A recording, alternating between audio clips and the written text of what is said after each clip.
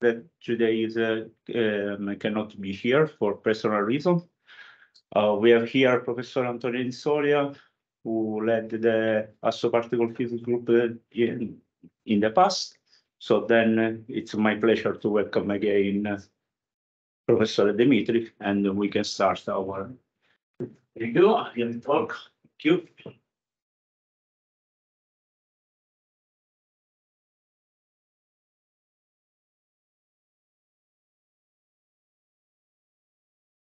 So good afternoon. Uh, thanks again for the invitation. Uh, I'm always very happy to to come here to Catania, even for a few hours like today.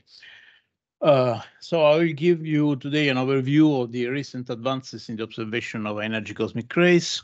Uh, I was told that uh, the audience is maybe not, not fully familiar with the topic. Of course, there are experts in the field, but also experts in other uh, disciplines or, and uh, fields of physics. So I, I will try to be uh, to have the, the right equilibrium um, in going deep or not into the details.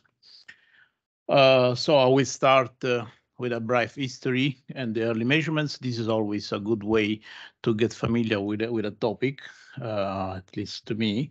then I will jump to nowadays and uh, give a short review of the most important and most recent results in the field. And I will, and of course, I will concentrate at the end on ideas for the future. Uh, unfortunately, I don't have so much time to go uh, to, to explore the whole field, so we'll focus on charged cosmic rays. Uh, so I will not cover the topics of gamma rays and neutrinos. Of course, I will uh, I will uh, just quote them. Um, I'm sorry for this also because here uh, there's a big group of KM3NeT and then uh, but they know even more than me on neutrino astronomy for sure. Okay, so we first uh, we we deal with cosmic messengers. Uh, so apart from gravitational waves that came last in the picture a few years ago with the first observation, we have these handles to study a, a very far astrophysical objects, which are uh, charged cosmic rays. So unfortunately for charged cosmic rays, the path is really strange because they encounter magnetic fields everywhere, mainly in our galaxy and then in our solar system and then very close to the Earth. So the part is not straightforward, so you cannot recognize the sources, so you cannot do astronomy with charged particles, unless you are at very, very high energy, and then I will be back on this. Uh, so you expect those particles to come close to the atmosphere and then start interacting and produce a, a set of secondary cosmic rays, which is what we observe here at sea level. In the main object, during the same process that lead to very energy charged cosmic rays, you also produce photons and neutrinos. Of course, studying photons is straightforward.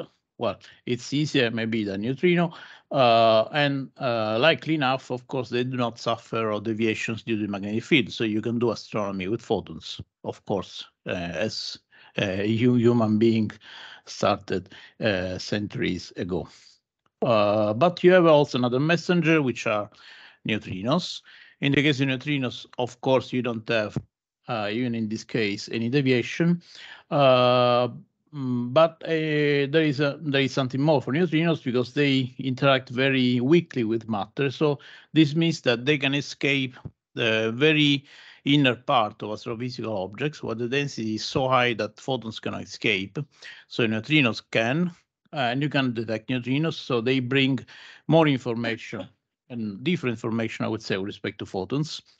Unfortunately, for the same reason, the low cross section, it's very difficult to, to detect them on the Earth. So you need, while you need relatively um, reasonable experimental technique and apparatus, apparatus to detect photons, to detect neutrinos, you need huge volumes in very strange situations as we will see. Okay, let's go back uh, um, to the, the end of in, in 1800s. Uh, these were the times where during which the uh, Eiffel Tower were, was built.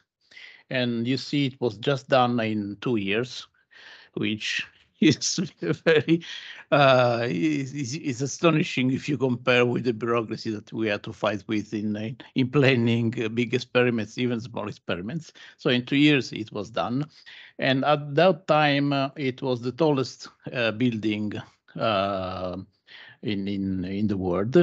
Uh, so someone had the idea to climb, not to climb, to, to go to the highest level and measure the um, the radioactivity that was present in in air. Uh, I mean, uh, at that time they had this uh, kind of detectors which uh, measured the radioactivity present in the air, the ionization rate, rate, let's say, uh, present in the air, uh, due to this ionization, due to the presence of this free charge, uh, there was a discharge of this of this device, and uh, the discharge rate was proportional to the ionization rate in the air. The uh, origin of this ionization in the air was uh, attributed to natural radioactivity from the Earth crust, which is what you suppose. Uh, so you would expect that go going up uh, to the top of the Eiffel Tower, you uh, you have to measure something less with respect to what you have at the um, on the on the floor on the ground. Uh, in principle, this happened. So you see here the ionization rate as a function of the altitude, you see a small decrease, but this was not sufficient. So someone else uh, so namely Victor Hess and also collaborators, uh, managed to, to measure the same um, radioactivity level in the air, so the ionization rate, as a function of eight using balloons, and they reached, you see here, even more than eight kilometers. And they measured this rate that was increasing uh, as a function of the eight. So uh, this is a spectacular demonstration that this origin, the origin of the ionization rate in the air is not due to something that is coming from the Earth crust. It's due to something that is coming from outside the Earth. Uh, similar kind of experiments were done by Domenico Pacini in Italy uh, using a different idea. So putting underwater his device and to measure the absorption rate and also in this case, the results was compatible to an extraterrestrial origin of this um, um, cause of ionization of air. Then in those years, there were a lot of experiments by crazy people. You see here the, the, the, the departure uh, of the Explorer 2 mission in 1935 that reached 22 kilometers in height. So they had a small uh, press pressurized uh, cabin that was um, um, flown uh, using a balloon. Uh, you see here other mission here. And, and so they measured all these ionization rates as a function of the eight with a lot of results that they didn't understand so clearly. And so there was there was a debate at that time, even among famous scientists like uh, Millikan, who actually uh, invented the name cosmic rays. And Compton, Millikan uh, hypothesis was that those cosmic rays were made by photons, while Compton suggested that they were charged particles. So Compton suggested to measure the flux of cosmic rays on Earth um, in, uh, in different uh, locations of the Earth. Uh, so they in, in the 30s they found that there was a dependence on the geomagnetic field, so the geomagnetic latitude. So uh, this is a clear footprint and a demonstration. Let's say that those charge uh, those rays are charged particles because they uh, are influenced by the geomagnetic field. So Compton was right and Millikan was wrong. Uh, so uh, till these days, uh, if you wanted to to study uh, subatomic sub on subatomic physics, let's say, so you have to to deal with nuclear physics and nuclear decays and radioactivities. So now the uh, cosmic rays were discovered, so people started studying studying them all around the world.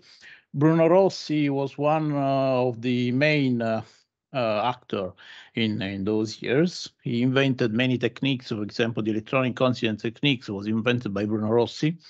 And in those years, he went to uh, Eritrea, and you might understand why Eritrea during the 30s, um, to measure cosmic rays with simple devices like this. You have here two Geiger uh, Mueller tubes with some absorber. So you have a trigger, put putting the two uh, counters in coincidence, and then you measure the, the flux of cosmic rays as a function of the zenith angle. So this is what you do during the International Cosmic Days. uh, so he, he, took this angle 0, 15, 30, and so on, uh, and he found a slight uh, uh asymmetry among the cosmic rays coming from the west and east. And in fact, this is uh, suggesting uh, us that uh, charged cosmic rays are mainly positively charged, because if you play with Lorentz force, then you, you see that if you have a particle coming from the vertical direction, uh, given the direction of the local magnetic field, you expect those particles to be deviated in a direction such that you would see an asymmetry of part or an excess of particles coming from west. This is a tiny effect, but it's there. And he also uh, found that sometimes there were some coincidences among detectors which were very far. And this was the discovery, the first hints, let's say, or measurements that were done uh, subsequently by others, for example, Pierre Auger. So these were, these were the first things that uh, um, often those cosmic rays at Earth comes in uh, showers of particles. Uh, so now we know that we have the primary cosmic rays impinging the atmosphere at 20 kilometers of height, producing secondary particles, and then at sea level you see a lot of muons and other particles. The muons, roughly 300 muons per square meter uh, per second. So this is the picture that we know now. Uh, this is a simulation, of course. Uh, this is a proton shower um, uh, with an energy of 10 TeV. So you see uh, with simulation, of course, you can distinguish muons, electrons, and hadrons in the shower. Uh, you see how many particles you have, and you see how big is the surface, which is uh, reached by the same um, shower. Uh, so uh, people uh, continued uh, studying cosmic rays. This is a conference in the fifth, in 1950. Uh, it's the early 50s, as far as I remember. Uh, in uh, no, sorry, this is in 39. Sorry, I was wrong. In 39, so before World War II in in Chicago, and here you see many of your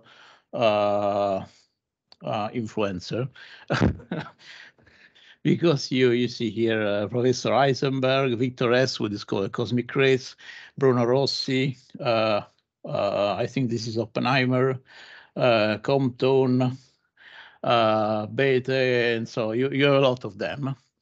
Uh, so this is just to tell you that studying cosmic rays during the following years, the antimatter was discovered by Anderson in 32, and then pions, kaons, uh, um, sigma, and so on, till let's say mid 50s. Okay, so subatomic physics was studied those days using cosmic rays.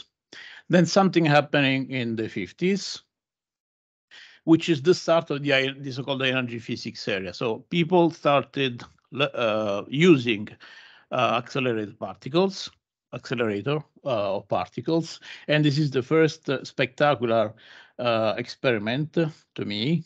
This is the, the discovery of the antiproton that was made at uh, Bevatron, so in Berkeley.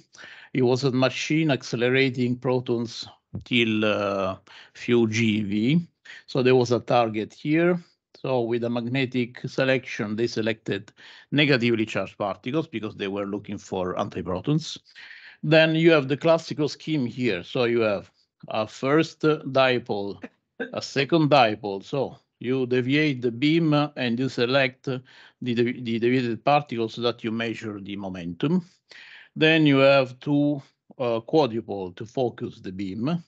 And then few scintillator, S1, S2, and S3, just three scintillator to trigger and to measure time of flight. Uh, so at the end, uh, now in, in, this beam, you mainly have uh, antiprotons, if any, if they exist, and negatively charged pions. And then you have to distinguish pi minus by antiproton. Of course, uh, they have the same momentum, so the pions are much faster, so you measure the time of flight uh, and you get it. But this is not sufficient because the background was high and you had all the order one antiproton per uh, 10 to 5 pions. So they, they use another kind of detector, and this young guy is Thomas Ypsilantis. Then you might get that those detectors were Cherenkov detectors. This is one of the first time, the first use of Cherenkov detectors in uh, particle energy physics, let's say. So they used the Cherenkov effect. Of course, pions were producing Cherenkov light and not protons because they were slower. And so they were able to, to pick up those few events due to antiprotons and reconstruct the, the shape of the antiproton mass, which is picked at one proton mass, as you see. So they found a particle with the same mass of a proton, but opposite charge. And uh, I encourage you to, to go and see and read this paper. It's just three pages dated, dating back 55. Uh, of course, they got the Nobel Prize, in particular Chamberlain and Segre got the Nobel Prize for this. And this is maybe the birth of the spectacular series of experiments made with accelerators that uh, till the discovery of the boson, let's say. So uh, precision high energy physics was done uh, with accelerators. And in the meantime, cosmic ray physics was used, let's say, to um, un better understand the astrophysical objects and the astrophysical mechanisms that produce those particles up to these high energies. Nowadays, uh, this is the only way to reach very high energies. So uh, even if you want to understand the energy physics, so fundamental physics at the highest energies or in very exotic um, conditions, uh, the only way is to go back and study cosmic rays. In the same years, so mid 50s, another uh, rush just started, which which was the rush for the uh, space exploration. So you might know that the first object in orbit, uh, launched in orbit, was launched in 57. This was the Sputnik 1. Uh, this is exactly the same year that Khristiansen and Kulikov discovered the all particle knee, uh, studying uh, extensive showers. This is a note for those of you that uh, study cosmic rays that are familiar with the knee or the spectrum. But anyway, just uh, uh, less, less than one month after the launch of Sputnik 1, Sputnik 2 was launched. And in, the, in Sputnik 2, we already have a, uh, a, cosmic ray detector in space. So the first cosmic ray in, uh, detector in space was uh, the second object launched in space. This is the same mission uh, where the, the famous Laika dog was launched in the cabin. Um, this mission was uh, using Geiger-Müller tubes to detect cosmic rays, and they detected anomalous counting rate above a given altitude.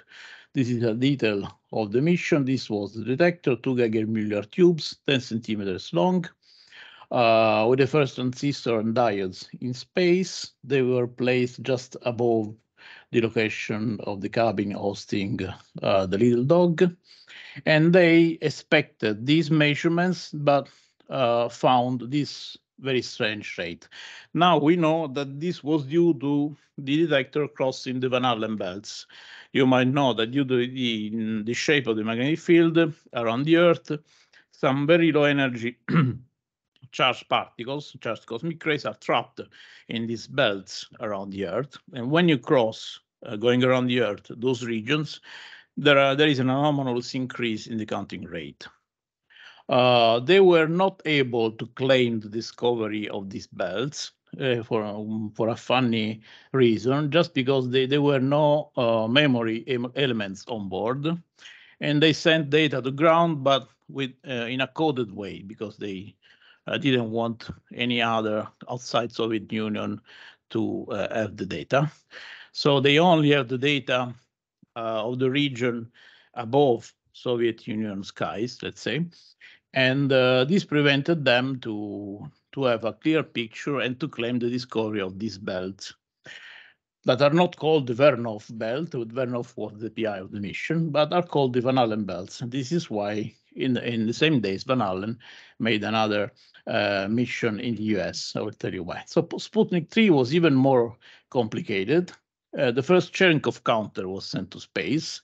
1958 is not so many years after the discovering of the Cherenkov effect. Sodium iodide synthradon counters and the first silicon solar battery. Uh, so uh, I was quoting Van Allen. So here's Van Allen uh, with his collaborator launching uh, Explorer 1, 2, and 3, and 4 just after the Russians. And so they managed to, to discover this structure around the Earth that then was were called Van Allen belts. And they also made the spectacular proof of the existence of Van Allen belts. They injected electrons in the Van Allen belts and, and they sent this probe around the space to measure uh, the increase in the flux of electrons after the injection. So how do you inject electrons in the Van Allen belts? Just organizing atomic explosion, nuclear explosion. During those years, these funny things were possible. And you see here a table where you see nominal yield of, of the explosion, one or two kilotons. These were rocket launched by US Navy from the South Pacific, and those explosions were arranged. The project Argus was the name of the project, and uh, so they injected electrons, beta rays from um, uh, from the explosion, and they located the increase, they detected with, with, with the Explorer satellite, the increase of the electron flux uh, above a given, uh, a given latitude. So they confirmed the existence of these belts that then, then called the Allen belts. Again, the same year, in uh, at ground, people continued studying those stuff. They uh, started using this approach. So to study high energy particles, they had the, this idea the, uh, with, with, within an experiment in the Pamir uh, using uh, absorbers and uh, detectors. So this is maybe the first uh, segmented uh, hadronic calorimeter in our language that then was used, was used at accelerators um, and with beautiful results, as we know. And that even they managed to send this in space this was a uh, an experiment was called uh, Proton, and they used rockets that were built for for uh, military use, of course, during the, the Cold War. Uh, but instead of hosting uh, bombs, they, they were just hosting this very heavy instrument. You see here 12.5 tons, which is a huge number for a space payload uh, even at the limit of nowadays technology. And they managed to measure maybe the knee of the particle spectrum. So they reach energy of the order of 1 PeV, 10 to 15 electron volt. And they also had some uh, hint of the increase of the proton-proton cross-section as a function of energy that then was confirmed at CERN and then at Fermilab, but then again at CERN with LHC. Of course, on the other side of the ocean in, in US, many other uh, progress were made. I don't have time to go into the details, of course, and then I will stop here this historic review just to see how things started in ground and in space, studying cosmic rays. So what, what do, do we have to, to answer to? Uh, what are the basic questions? First, uh, what are the sources of cosmic rays? This is something that still uh, do, do, not understand. We have, we have some answers now, but not totally, uh, not all of them. Uh, how do cosmic ray accelerator works? They are much more efficient than uh, what we can do on Earth, uh, at least in terms of the energy that can be reached. And what happens during cosmic ray propagation in the galaxy? but all these uh, questions has to be answered during these observables.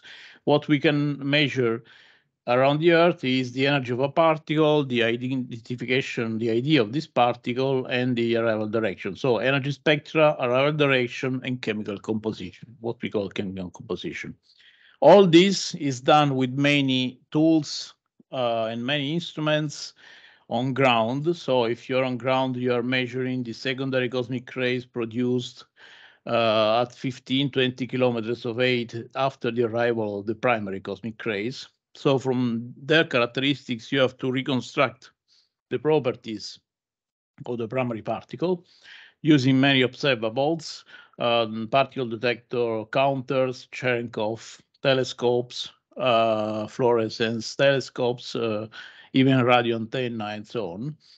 Or if you are uh, working in the right energy range, you can also send a detector to space and directly measure the primary cosmic rays. Of course, this is the best way if you can do.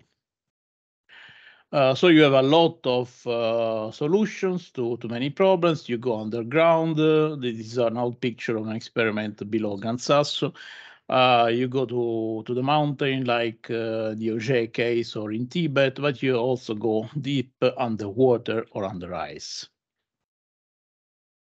And these are the our landscapes. So uh, what we get from the sky is charged particles, and this is the energy spectrum of the various components. You get neutrinos and you get photons.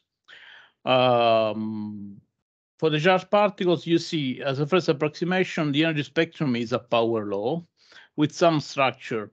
The first structure was discovered, as I told you, in the 50s, and it was called the knee or the spectrum, which is the so-called all, all particle spectrum. So you sum together all the charged particles. Now we know that all those particles are atomic nuclei, so proton, hydrogen, and so on, up to iron and more. Uh, and then you have maybe other other structure here, and then you see uh, um, a cutoff or uh, um, a suppression around 10 to 20 electron volt, which seems to be the end of this energy spectrum. Of, of course, if you can, you can also measure the subcomponents, which are electrons, positrons, antiprotons, and so on. I will come back to this. Uh, on the same source, you also produce neutrinos, uh, and photons. And you see here, this is the photon spectrum as a function of energy and wavelength. This is a very old picture, but it's very beautiful be because you see uh, all the emissions and uh, uh, spanning over many orders of magnitude in energy and in flux. If you uh, look, for example, in the visible energy range, so roughly one electron volt, this is the the the, the star of light as uh, or sorry the, the the light of the stars as we can see them uh, during uh, the night with our eyes. If you go uh, to smaller energies you go to infrared and then you go to radio wave and then you uh, and even before you uh, you go to microwave and this is the famous cosmic microwave background. So the um, black body spectrum peaked at a temperature of 2.7 Kelvin. While if you go higher in energy, uh, you always have, again, Maxwell-Boltzmann or black body distribution. Then you start having a power law uh, when you reach, let's say, X-ray, hard X-rays and, M, M, um, and gamma rays. So uh, you go from uh, thermal phenomena, thermal emission uh, phenomena to non-thermal uh, phenomena. And most probably those non-thermal phenomena, given a power law here, are strongly linked to the same mechanism that produce cosmic rays because of the power law. At the same time, you produce neutrinos. So you know very well that the sun produces neutrinos, and this is the yellow spectrum. When you have a supernova explosion, you also might have neutrinos. In all those cases, you have neutrinos produced in nuclear interactions. So the energy is of the order of few MeV. Uh, even if you have a nuclear plant reactor on Earth, you, you produce those neutrinos, antineutrinos in this case, with the same energy, more or less. if you go uh, higher in energy, then you have this called atmospheric neutrinos. Um, these are produced by cosmic rays uh, hitting the atmosphere and producing secondary particles, for example, pions and kaons. And then you have neutrinos from uh, the decay of charged pions mainly. Uh, so those neutrinos are not coming from uh, extraterrestrial sources. They are produced in the atmosphere as secondary particles. Uh, while if you go higher in energy, you might start getting neutrinos from the extraterrestrial sources. Uh, and this is the pink spectrum, which is uh, very interesting to be studied. Even higher in energy, you have this called cosmogenic neutrinos, which are uh, most probably the result of an interaction of very high energy protons at 20 to 20 electron volts with the cosmic microwave background photons as a target. Then we produce a delta resonance, and then you might produce charged pions and then neutrinos. So you see extremely high energy with extremely low energy, which brings you to this very energy cosmogenic neutrino flux. On the other extreme, you have cosmological neutrinos, which is the, exactly the same uh, spectrum as the cosmic microwave background in terms of photons. So you, for the same reason, you expect uh, also a neutrino flux to be there. These are very difficult to detect. If you have a, a smart idea, you will get the Nobel Prize for sure, because look at the energy. These are, this is a fraction of milli electron volt. Uh, so these are even non-relativistic neutrinos. Very strange beast to, to deal with. Uh, okay, so come back to um, charge particles. So this is the spectrum, again, as a function of energy. Uh, if you go very low in energy, you see that there are deviations from a power law. This is simply due to the fact that there are local effects. So you have, for example, the, the magnetic field generated by the sun that in the solar system prevents very low energy cosmic rays to enter the region. Uh, so the flux at very low energy is somehow cut off, uh, cutted because of the effect of the of the solar magnetic field. And this is also time dependent, so you have a modulation of low energy fluxes in this region here, which is dominated by local effects. On the other hand, if you go very high in, in energy, most probably those cosmic rays above, let's say, 10 to 18 electron volt could be from uh, extragalactic origin. So if you want to start focusing on cosmic rays produced in our galaxy, this is the energy range that you should focus. So above, uh, let's say, 10 GeV and below 10 to 17 electron volt. And here, um, at, at, the low energy part can be studied with satellites in space because the flux is still high enough. While if you go larger in energy, for example, above 10 to 15 electron volts, so 1 PV, take this number as a reference. If you go above 1 PV, uh, the flux is too small, so a reasonable sized uh, payload cannot have uh, um, a reasonable rate of event to be studied. So you are forced to study high energy cosmic rays using uh, ground-based detectors. uh, so let's start seeing just some example. This is the, the so-called all electron flux. So the sum of cosmic electrons and positrons as a function of energy. You see many experiments and you see this is really nice, everything is fitting the picture, but this is a, a, a, dirty trick, I would say, because look how many orders of magnitude I put it here in the slide. So in all cosmic ray physics, typically what you plot on the y-axis is not the flux, but the flux multiplied by a power of the energy.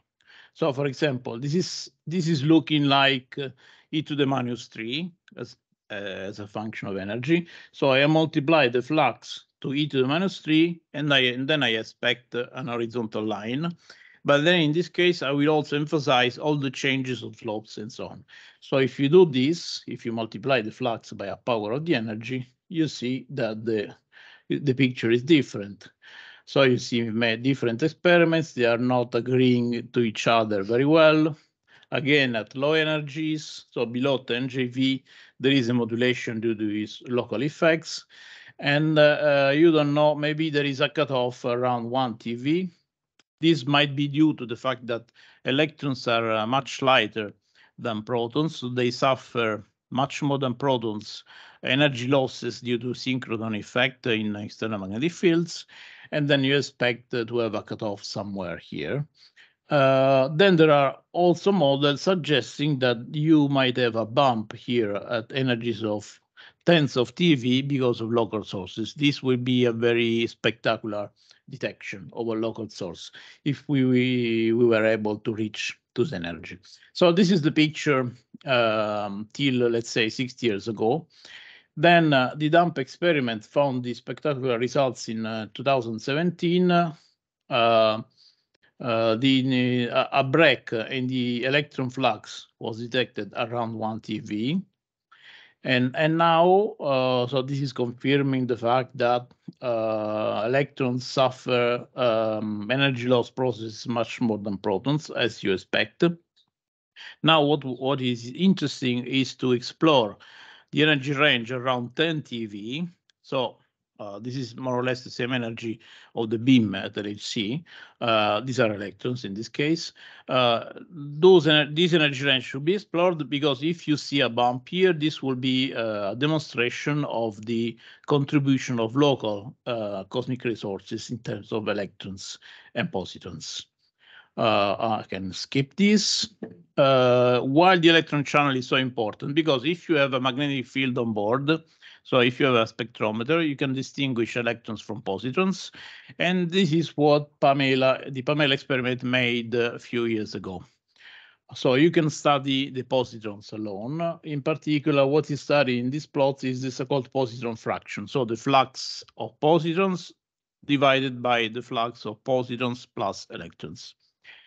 And if you your understanding of the universe is the following, so the universe is mainly made of matter. You have uh, stars made of matter, and then cosmic rays are accelerated during uh, using solar matter.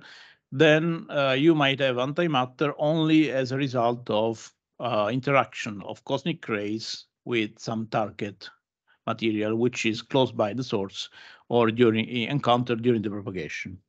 So in this way, so if secondary, if positrons are produced by this secondary uh, production mechanism, you would expect, as is emphasized here by the continuous line, uh, a decrease of the positron fraction as a function of energy. But the experimental result was by Pamela or uh, is is this set of red points. So you see that there is a clear contradiction. You see an increasing fraction of positrons while you expect a decreasing um, fraction. Then people started to, to think about possible production of positrons because of uh, decay of WIMPs, of dark matter, and other exotic phenomena. So this was the starting of a long uh, series of papers in the literature. Those measurements were confirmed later by uh, AMS2, uh, which is a an even larger experiment installed on the International Space Stations with a, a very large magnetic field and very precise uh, instrumentation that made possible uh, this very high quality data, as you see here. Uh, so still we see this increase with energy of the positron fraction with some decreasing here at this energy. And this is somehow puzzling. In, in this plot, you can see the shape multiplied by some power of energy again the shape versus energy of the electron spectrum and the shape of the positron spectrum. So you see that the electrons uh, are um, decreasing with energy faster than the positron signal, and uh, you might attribute this to some exotic uh, physics. But in what we know now is, is that if you go deeper into astrophysical models, those data can be explained with standard astrophysical production scenario. Uh, so the idea will be, let's look at antiprotons in cosmic rays. If you if we see an excess in anti-electrons, we should see an excess also in antiprotons. But this is not the case, because you see here uh, the results from Pamela, uh, the red points uh, um, perfect agreement with the theoretical prediction of antiproton production due to secondary interaction of cosmic rays. Uh, you see also here on the plot the flux of antiprotons divided by the flux of protons compared with the prediction and the experimental data are still within, even at maybe at one sigma from the average, still within the band of theoretical prediction. Uh, so this is a passing situation. We see an excess of positons. We don't see an excess of antiprotons. This might be due to the presence of local sources of electrons and positons, as I uh, suggested, uh, showing you the, the, the, results concerning electrons and positons. You also see here those colored bands. These are the uncertainties on the theoretical calculation. Uh, so you see here that for the first time, this is just one example, when you see that uh, the, the outcome of the measurement is mostly influenced by the uncertainty in this theoretical model. And this is due mainly, you see, to the uh, poor knowledge of cross-section of uh, production of antiprotons at low energy. So there is a set of interesting experiments that should be done using beam uh, on Earth in order to measure the, those cross section and then uh, make this uh, calculation uh, more precise in order to be compared with very precise data. I skip this again and I come to this. So if you uh, want to go to other messengers, let's start looking at uh, protons and other nuclei.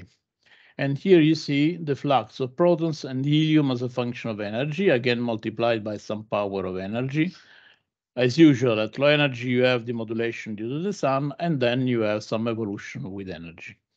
What was expected till uh, maybe 10, 15 years ago was that this should, uh, should be a unique power law till 1 PV, uh, but we see that there is a strange behavior here, and then there is maybe a change in the slope. This was this discovery made again by the Pamela experiment and then confirmed by AMS of the so-called hardening of the spectra.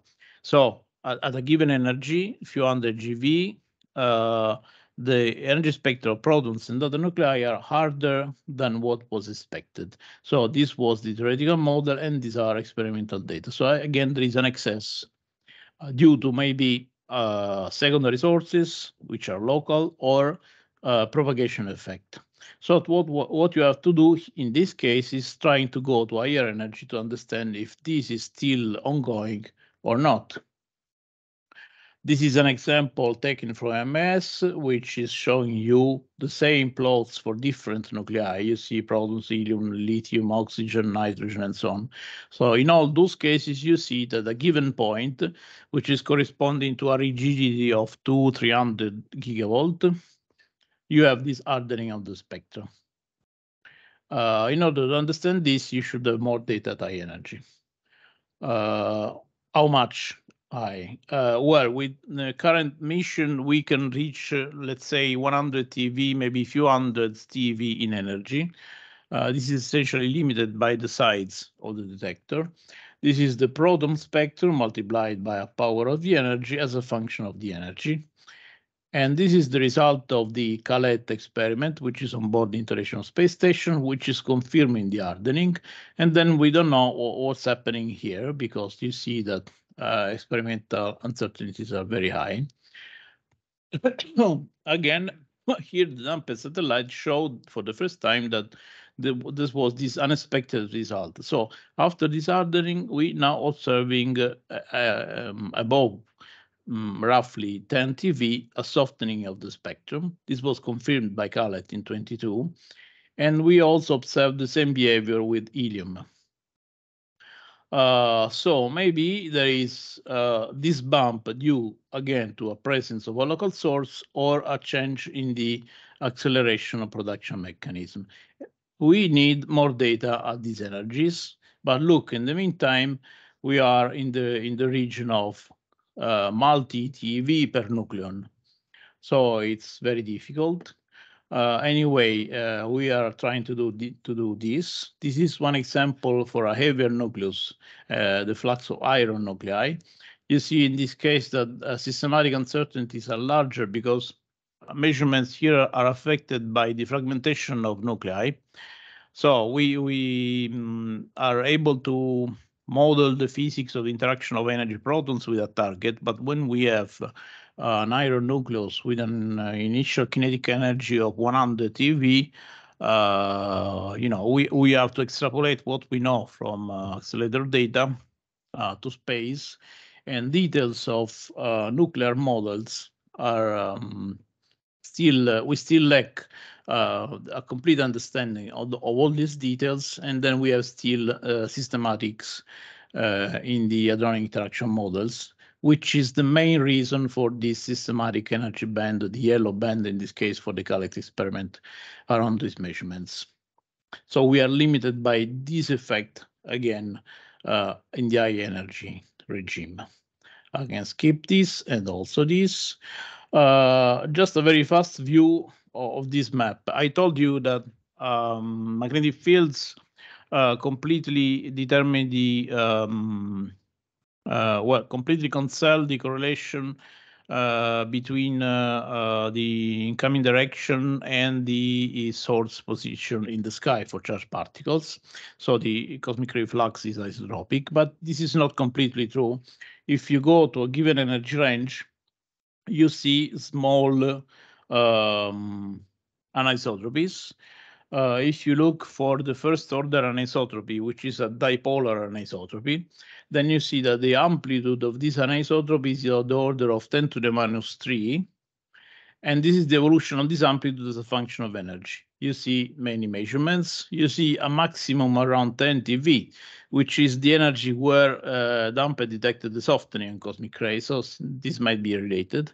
And then you see that going towards a, a very high energy, above hundreds of TeV, you have an increase of anisotropy. So again, something new is happening. Uh, if you if you look at the face of the dipole, uh, so the position of the dipole in the sky, this is an even more spectacular effect because you see a position uh, phase of the dipole, which is suddenly changing around uh, 2 300 GeV, pointing toward the galactic center this time. All this could be a combination of the composition of the cosmic ray beam, which is changing with energy, and uh, the structure of the local uh, magnetic, galactic uh, magnetic field, the, the, the, arm of the local galactic magnetic field, which still do not know very well. Uh, so the answer uh, should come from a, a, larger experiment, and this is one proposal for a future experiment, which is called HERD. This is a larger and heavier experiment uh, that could reach uh, 10 to the 16 electron volt in energy to be installed on the Chinese space station. And there is a collaboration trying to um, propose this experiment, get this approved and, and build it. Uh, I don't go into the details. I will leave you the slides. Uh, so if you want to study cosmic rays with satellites, you could reach 1 PeV, and I showed you why you need to cover this energy region.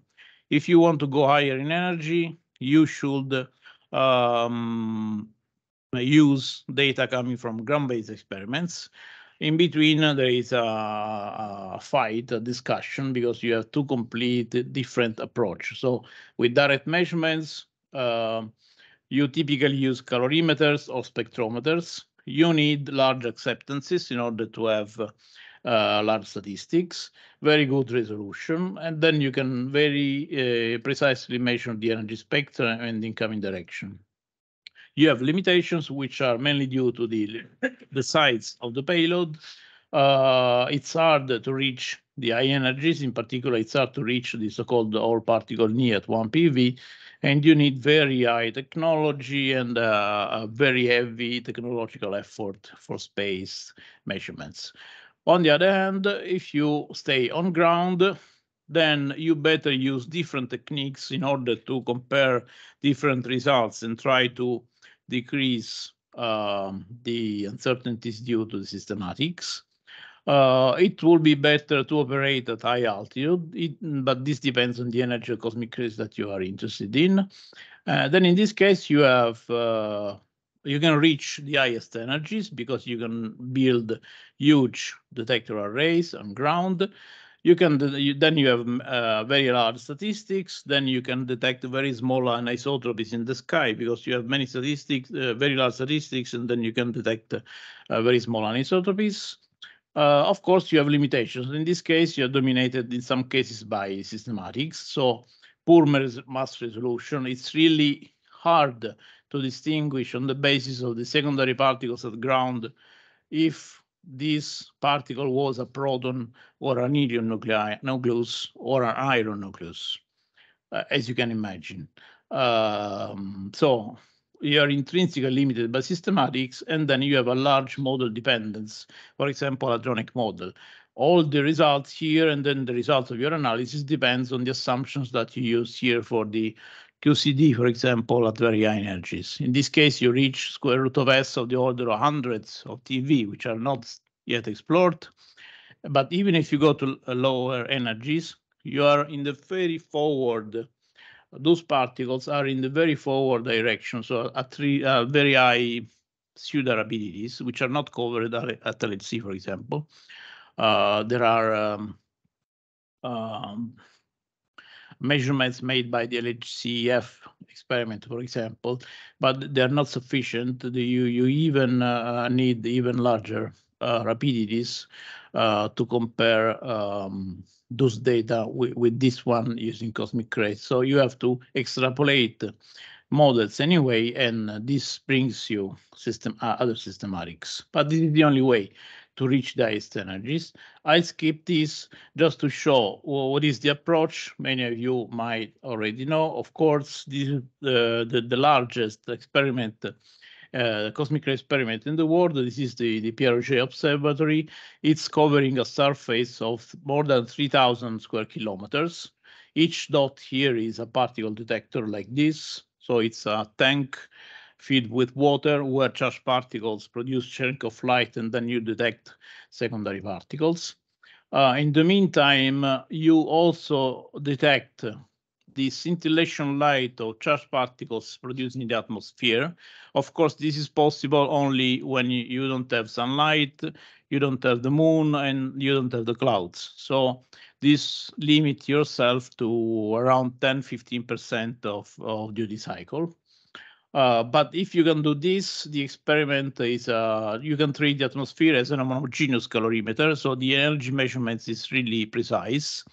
Uh, and then you can use the data taken during these good nights uh, to compare what you measure with uh, the, the, the fluorescence telescope with, with what you have uh, from the ground arrays. So you put together different observables you have here on the horizontal axis the energy measured by the fluorescence detector, so the calorimetric technique that you can use only 10% of time. And you, you, compare this with some observables that comes from the uh, so-called surface array. So all the detect the charge particle detectors are ground. And then you see that there are correlations. So once you do this calibration, you have data uh, also during daytime because you just need to use uh, charged particles at ground. And then with this kind of experiment, we, for example, we were able to see very clearly the end of the cosmic ray spectrum around 10 to 20 electron volt. You see this sharp behavior here. Uh, there is a puzzling situation here concerning the composition. So you, we we uh, we understood. So in other words, we understood that uh, the spectrum is ending at these energies. We don't know yet what is the reason. There might be at least two. The simplest reason is that those um, particles are interacting with the cosmic microwave background, and then uh, uh, the, the flux is suppressed. Uh, but what we don't know is um, the chemical composition of the beam. So we would uh, expect to have a dominate a beam dominated by protons at the highest energies, but data indicate that this is not maybe the case. Uh, I, I have no time to go into details, but you see that experimental points are not going at high energies towards the hypothesis of proton-dominated beam, but they are going towards a composition that should be heavier. So they are approaching the iron curves, the iron prediction, not the proton ones. And this is a puzzling situation. Anyway, maybe this, the, this is one of the last things that I'm going to show. Uh, the most spectacular results in this field was obtained by the Auger collaboration a few years ago, showing that above a given energy, 8 times 18 electron volt, you start seeing an, an anisotropic sky. Uh, so you expect that at this very high energy, the galactic magnetic field is no more um, able to deviate the direction of particles. Uh, you know, this just comparing the Larmor radius at this energy with the size of the galaxy. And so if you go to those very high energy, you could start doing uh, astronomy using charged particles. And then, of course, we, you don't see the source, you don't see the sources, but you start seeing that there is an anisotropy, and most probably uh, those particles are coming from a direction which is opposite to the direction of the galactic center. So most probably those particles come from outside the galaxy and with a significance more than 5 sigma. and this is what was actually expected. The future, uh, these extreme energies might come from having a larger exposure. Uh, in the jargon of cosmic rays, exposure is oh, okay. It's a sort of uh, integrated luminosity. So you you have the acceptance times the observation time, so it's a measure of the statistics that you have. If you want many, uh, much more events, so to reach higher energies uh, or to better study the anisotropies, you need a jump in the exposure. And you see the exposure of Auger and the exposure of some projects that are proposed here.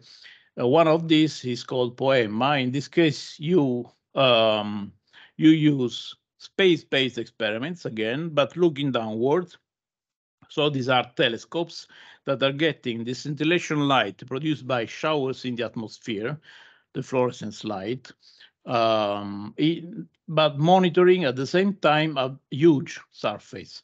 So instead of having uh, 3,000 square kilometers, uh, as in the case of Auger, you monitor at the same time with the same instrument a surface which is two orders of magnitude uh, larger, and then you have a jump in statistics, and then you might reach larger energies and study anisotropies. And this, in, this is then the end of the story. Uh, so the message is that the, there are continuous and steady improvements in the field. Uh, we have uh, we got new answers, but also the results, as always, raise new questions. And then we had many unexpected results. In all this, of course, uh, uh, which is most important maybe for uh, experimentalists. Uh, once you have new tools, you can uh, build uh, better experiments, and then you have new observables, and typically you always have new results. So new tools and new idea will make the difference as always. Thank you.